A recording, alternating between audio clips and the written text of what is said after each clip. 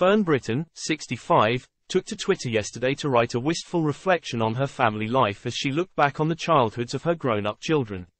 The former This Morning star is mum to four children in total, Winnie Vickery, 19, who she shares with former husband Phil Vickery, and twins Jack and Harry, 27, and daughter Grace, 24, from her first marriage to Clive Jones.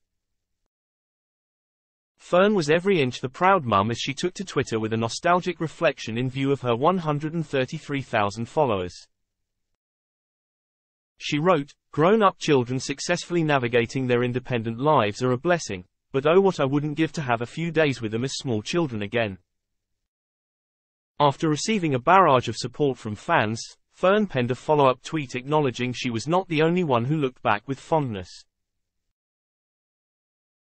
She tweeted, I'm so happy that I'm not alone in this. Just to kiss them and cuddle them and read to them in their clean gym jams.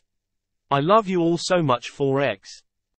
Fans of the TV star replied to her tweet letting her know she was not alone in feeling the way she did as they recounted their favorite memories.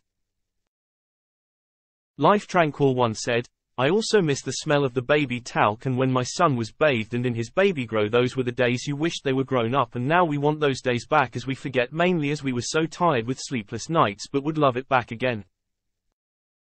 Kalmek added, Oh Lord yes please. Their lives now seem so complicated. We were lucky to have spent their childhood in a glorious place, in a beautiful storybook house surrounded by lots of chums.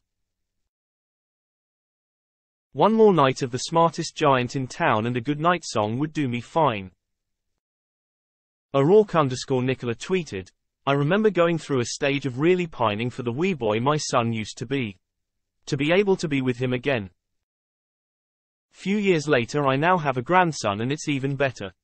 Helps he's my son's double lol but it's amazing. Sick.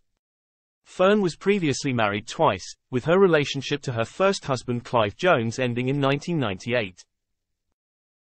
The presenter met her second husband Phil when they appeared on the BBC show Ready Steady Cook.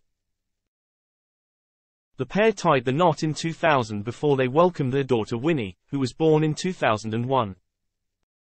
However, they both announced their marriage was ending in a statement on Twitter in January 2020. The TV star has since addressed moving on from her former spouse as the presenter pondered dating again. Fern continued, I'm really enjoying being in a big bed by myself, and I've moved the pillows to the middle. It's great being able to go to bed, and, if you're snoring, it doesn't matter.